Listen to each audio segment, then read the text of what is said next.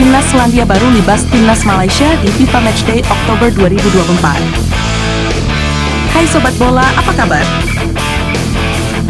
Kali ini kita mau bahas pertandingan seru antara Timnas Selandia Baru, alias All Whites, yang sukses menghancurkan Timnas Malaysia atau Harimau Malaya di laga FIFA Matchday Oktober 2024. Buat kamu yang ketinggalan momen serunya, simak terus video ini karena kita akan ulas secara lengkap jalannya pertandingan yang berlangsung di North Harbour Stadium, Auckland, Senin 16 Oktober 2024, siang waktu Indonesia Barat.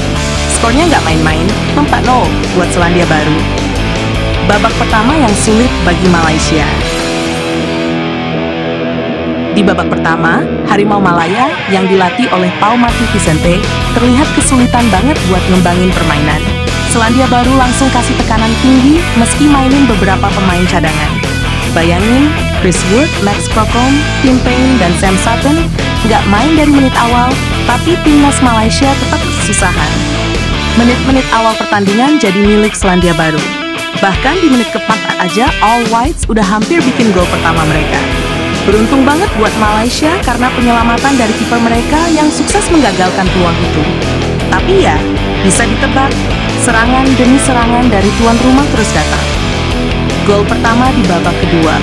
Akhirnya, di babak kedua, kebuntuan pecah sobat.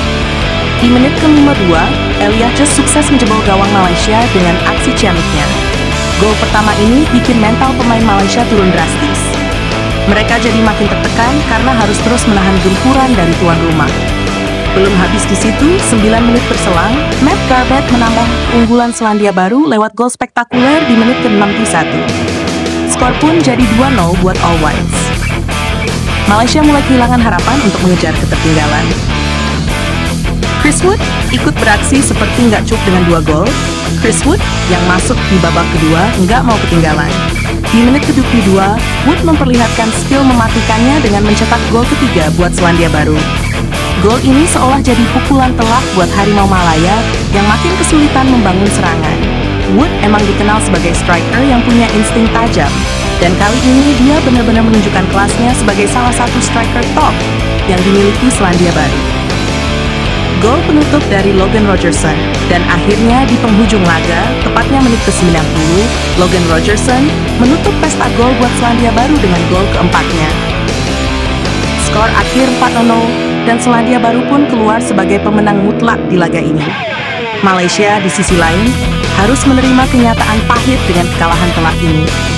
Harimau Malaya harus segera berbenah jika ingin tampil lebih baik di laga-laga berikutnya. Analisis pertandingan Kemenangan ini jelas jadi momentum penting buat Selandia Baru dalam persiapan mereka menghadapi turnamen-turnamen internasional ke depan. Meskipun turun dengan skuad lapis kedua, mereka tetap tampil solid dan mendominasi permainan. Di sisi lain, Malaysia harus belajar banyak dari kekalahan ini. Paul Marty Kente dan timnya perlu memperbaiki strategi dan kekompakan tim, terutama dalam menghadapi lawan yang bermain dengan intensitas tinggi seperti Selandia Baru. Itulah jalannya pertandingan seru antara Selandia Baru dan Malaysia. Bagaimana menurut kalian, Sobat Bola? Apakah Harimau Malaya bisa bangkit di pertandingan selanjutnya? Tulis opini kalian di kolom komentar ya. Dan jangan lupa like, subscribe, serta nyalain lonceng notifikasinya biar gak ketinggalan update terbaru seputar dunia sepak bola.